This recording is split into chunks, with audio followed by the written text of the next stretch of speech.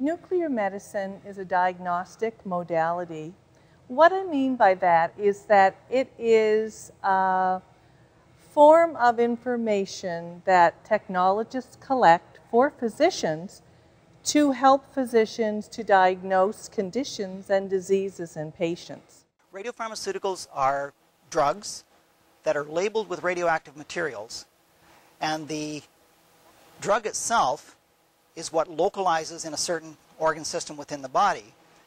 The radioactivity provides a signal that we can detect with our instruments, such as this gamma camera. One of the most important things that a nuclear medicine technologist does is interact with the patient and monitor the patient throughout the imaging procedure. It is very scary going under a big machine and going to a place called nuclear medicine. Many patients are very nervous about their conditions.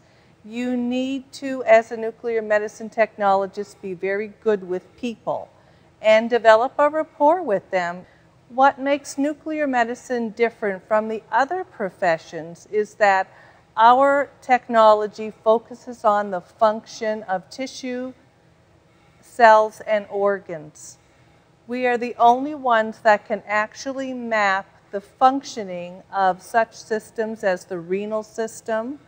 We can watch a kidney produce radioactive urine, which is very exciting for us.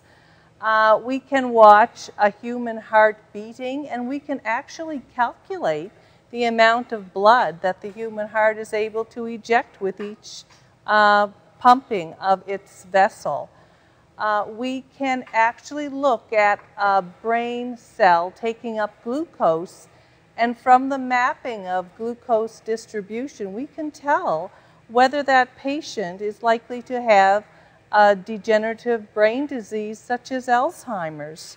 I think it's a good program. Um, most people who are in sciences, they they still want to, let's say, try med school or pharmacy. And I said, you can still do that with this program. And with this program, you can actually get a professional degree. It's more specialized, and you can still do other stuff on top of this. You can do your master's, and it's just opened up more doors for you. Your first day, you meet all your instructors. They know your name by the end of the day. You get to know all your classmates very well. You work in teams all the time, and it's a much better feeling than university where your instructors might not even know you throughout your whole degree.